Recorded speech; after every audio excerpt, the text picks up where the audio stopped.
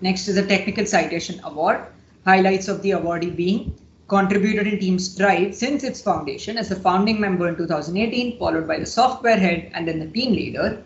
Then achievements being winner at uh, International Micro Mouse Challenge, winner in the O-Track Bot Innerve in 2020 in Delhi, sixth position at DRDO Challenge, and ninth position at IABU Robocon 2019 in Mongolia.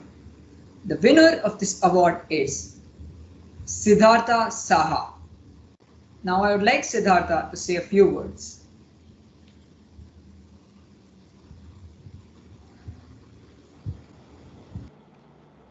Yeah, uh, thank you so much, Mahur. I'm, I'm very used to uh, people uh, misspelling my name, so I, I uh, totally fine with it by now. So uh, I would like to thank uh, IIT Bombay for providing this uh, wonderful opportunity uh, to explore the tech space. Uh, in the first two, two years, I was exploring a lot of things, and then the next uh, third and fourth year, I finally established a like a solid technical foundation, and I have been doing a lot of things and loving the experience.